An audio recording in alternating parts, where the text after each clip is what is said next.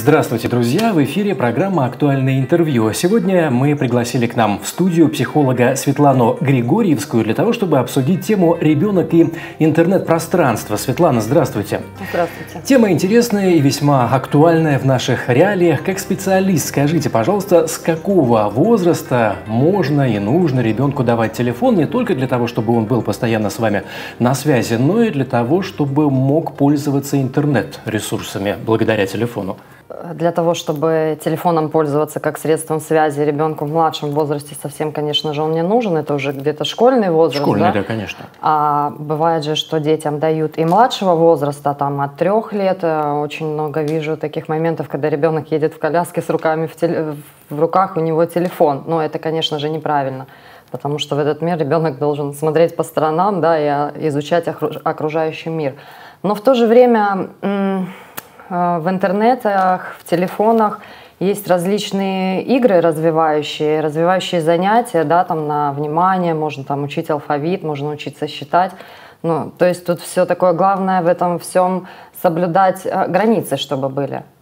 Границы вы имеете в виду, то есть какой-то определенный контроль со стороны родителей, как его лучше осуществлять, потому что если ребенок идет в школу, у него все в телефоне есть, пожалуйста, кроме там связи, есть еще и выход в интернет-пространство, а выйти там можно куда угодно, не только на сайты с развивающими и полезными играми. Вот как быть с этим контролем родителям?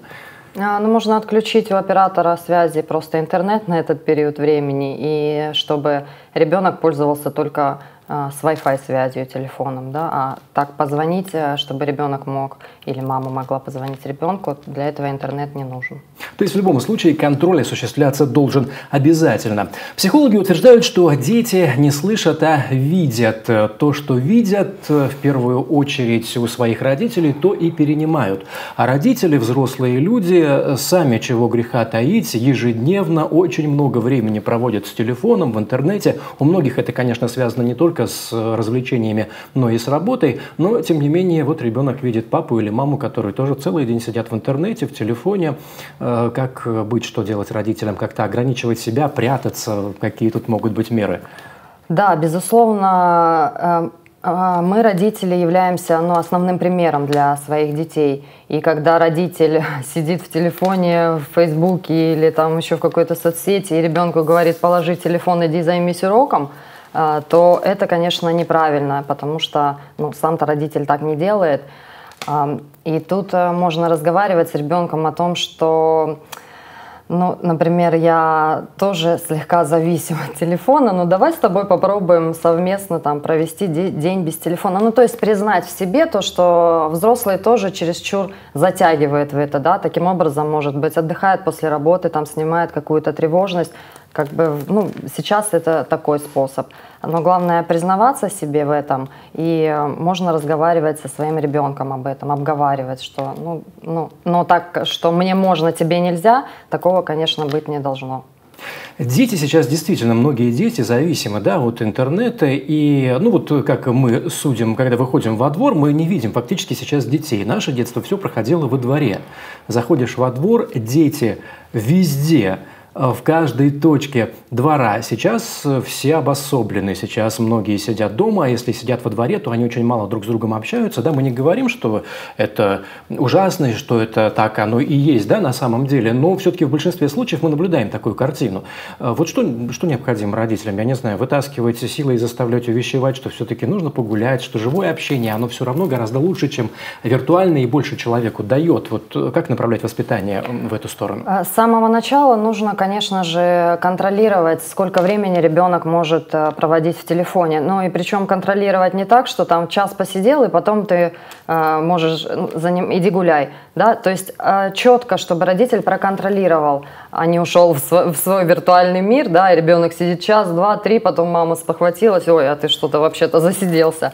А час в день ты можешь проводить в телефоне, ты можешь дробить этот час, полчаса час, полчаса потом, но не больше. И э, забирать его, прятать, там, я не знаю, ну, чтобы ребенок не мог взять его, чтобы он понимал, ну, то есть выработается у него привычка какого-то эм, эм, как это правило, правило того, что в телефоне можно там играть в игры или смотреть э, ролики какие-то, вот определенное количество времени.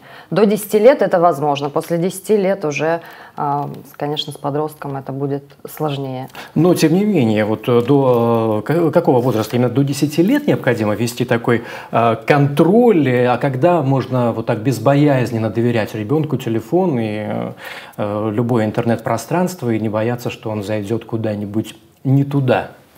Ну, тут все индивидуально, все зависит от э, контакта родителей с ребенком. Обо всем нужно разговаривать с ребенком, о безопасности разговаривать, о том, что э, вот могут быть такие случаи не очень э, небезопасные, да, и как поступать в этой ситуации, о том, что могут э, за аватаркой, там, допустим, 12-летнего ребенка может скрываться, ну, какой-то нехороший человек, который может причинить вред. Ну, то есть не запугивать прям совсем, что это кошмар страшно, но разговаривать о безопасности. Эм, разговаривать о безопасности в общем или приводить какие-то конкретные примеры из жизни, которые известны? Да, можно приводить примеры, например, вот всем известная Кит, да, вот эта вот э, соцсеть, которая э, ну, совсем небезопасная. Можно такой пример приводить, да. Какие опасности может э, таить чрезмерная Э, увлечение ребенка интернетом, потом же могут возникнуть большие сложности уже во взрослой жизни, в обыкновенных человеческих взаимоотношениях, если человек слишком сильно с самого детства зависим от интернет-среды и от этого общения только в онлайне. Да, но тут надо э, понимать, эта зависимость уже когда ребенка ты зовешь, там, бросай телефон, пойдем поиграем в мяч, или за тобой зашел Вася, иди погуляй, да, или Маша, и ребенок такой, нет, мне ничего не интересно, целый день сидит в этом гаджете, то тут да, тут уже зависимость. И просто так тоже от нее не избавишься. Это как и у взрослого алкогольная, допустим, зависимость, да, ребенок просто, и тут тоже надо понимать, что, почему он туда ушел, да, какие-то тревожные моменты, значит, надо с этим разбираться и готовить ребенка к тому, чтобы ну, выходить из этой зависимости. Не резко отобрал телефон и все, и, и, и ребенка будет ломка, ну, реальная, потому что у него нету а, этого вот если мы говорим о такой крайней ситуации, да, когда явная зависимость, когда она, она лицо, э, родители самостоятельно могут с этим справиться или все-таки необходима помощь специалиста? Лучше обратиться к специалистам, конечно, чтобы оценить вообще степень вот этой зависимости и а, что а, стало следствием того, что ребенок окунулся в эту интернетную жизнь и его вокруг ничего не интересует. В этом надо поразбираться, конечно. Ну вот тут еще очень важно соблюдать эту грань, чтобы ребенок не ощущал и не думал о том, что он живет в мире сплошных запретов, да? Вот э, сегодня ты не будешь сидеть в интернете, сегодня ты пойдешь гулять, потому что так надо, мы тебя заставим это делать, да? А вот туда не ходи, сюда не ходи. В конце концов, это тоже ну, чревато и может развить э, комплекс неполноценности. Как вот эту грань соблюсти с вашей точки зрения как а, специалиста? Можно планировать с ребенком, э, составлять план на день, там, с утра с 7, там, с 8 до там, скольки-то ты учишься, потом ты там отдыхаешь час, как ты отдыхаешь, может, ты полчаса посидишь там посмотришь, поиграешь в игру, а может быть ты полежишь, там потом ты делаешь уроки, допустим, или уборка по дому, а потом опять полчаса ты поиграешь, потом пойдешь погуляешь. Ну, то есть составлять распорядок и включать вот этот э, э, интернет-пространство в распорядок. Тогда ребенок будет привыкать к этому дозированно получать и уже будет знать, что он, э, это время его для гаджета.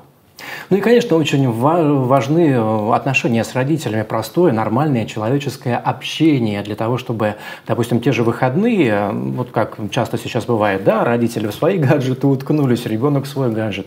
Э, понятное дело, что сейчас у нас сложная ситуация, uh-huh, сейчас uh-huh. там лучше лишний раз там, куда-то не выходить в какие-то общественные места, но мы надеемся, что скоро все это закончится да. и жизнь вернется в прежнее русло, пойти куда-то погулять, общаться, рассказывать, учить чему-то ребенка, Конечно. это тоже крайне необходимо? А, конечно, в любом случае. То есть, а, если вы видите даже вот на ранних этапах, что ребенок завис в телефоне и не может его оттуда вытащить, предложите ему что-то более интересное. Да? Если это маленький ребенок, то давай полепим, давай порисуем. Это обязательно нужно делать совместно с родителями. Не надо думать, что родитель забрал э, телефон у ребенка, и дальше пусть ребенок сам как хочет, так и будет со своим временем. То есть нужно уметь тоже проводить с ребенком время, быть в контакте, э, чтобы была обязательно совместная деятельность, рисование, походы, там, а, гуляния, ну, э, общение, вот именно непосредственно прям вот разговаривать глаза в глаза, не просто когда мама моет посуду, а ребенок там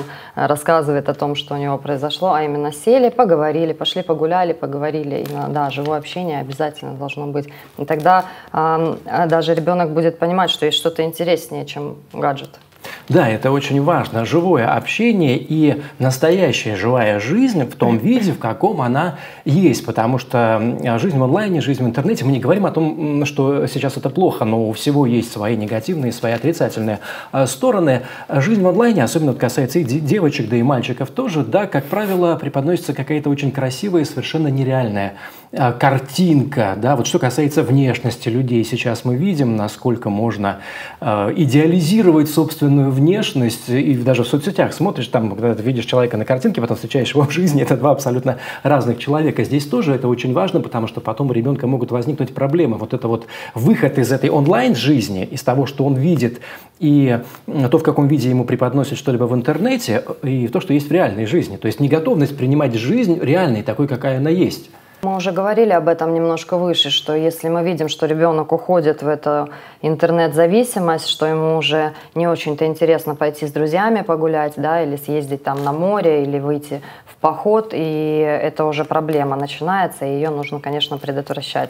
Это и есть вот интернет-зависимость, которая, а, да, там кажется лучше, там нет эмоций, да, они не, дети, когда переписываются, они же не, слыш, не видят, не слышат эмоций, с которыми они что-то себе там додумывают, воображают, может быть, находят какого-то воображаемого друга, который кажется, что на той стороне его поддерживает, там, сочувствует, а это должны все давать родители, и поддержку, и сочувствие. В соцсетях нет никаких возрастных ограничений. В принципе, человек любого возраста, и ребенок в том числе, может беспрепятственно завести страницу ВКонтакте, на Фейсбуке, в Инстаграме и где угодно. А родителям все-таки лучше контролировать эм, эти социальные страницы своих детей, их переписку и все то, что там происходит.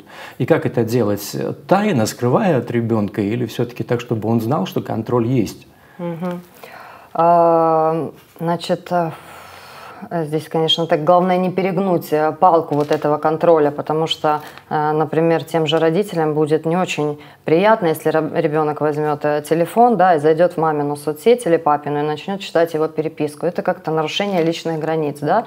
А, то есть ребенок уже, который пользуется соцсетями, это уже личность, да, и у него тоже могут быть границы, и ребенок также может злиться на родителей, да, и, допустим, родители не разрешают злиться на себя, как ты можешь там с мамой, с папой так разговаривать, да, а злость у него все равно есть, где-то родители поругали, может быть, чересчур сильно, и ребенок злится, и, возможно, он пошел, написал какую-то своему другу, там, мама меня сильно поругала, ах, она такая, ну, это его чувство, это его эмоции, он имеет на это право. А мама может залезть туда и э, не совсем адекватно это воспринять, да, и, ну, я считаю, что это нарушение границ ребенка, и здесь опять же, нужно разговаривать о том, о безопасности да, в интернете. И можно договориться о том, что, например, из, из-за того, что я переживаю за тебя, да, и есть не совсем эм, Э, не совсем безопасные, да, там э, группы или люди бывают, скрываются э, не очень хорошие, да, я бы хотела, э, давай с тобой договоримся, что там когда-то я буду проверять группы, в которых ты а, состоишь. Таким образом, у ребенка будет возможность почистить свою какую-то переписку, а мама зайдет, посмотрит, что там ну, все безопасно, да, там нету группы типа синий кит, там еще что-то такое, и а, фотографии все, и, и как эти комментарии, да, то есть это посмотреть и отдать ребенку, но только с, ребен... с разрешения ребенка, потому что это его личная жизнь там. Итак, Светлана, давайте еще раз резюмируем все то, о чем вы сказали, что необходимо знать родителям, что необходимо им предпринимать для того, чтобы общение их ребенка в интернет-пространстве было максимально для него безопасным. А, беседовать с ребенком, а, вводить правила а, на пользование гаджетом определенное время, беседовать с ребенком о безопасности, проводить с ребенком больше времени и, конечно же, э, самому не сильно увлекаться гаджетами. Спасибо вам большое за беседу. Надеюсь, что она будет полезной для многих наших родителей. А зрителям напомню, что сегодня у нас в студии была психолог Светлана Григорьевская. Берегите себя и своих детей. Будьте счастливы и здоровы. Всего доброго. До новых встреч в эфире.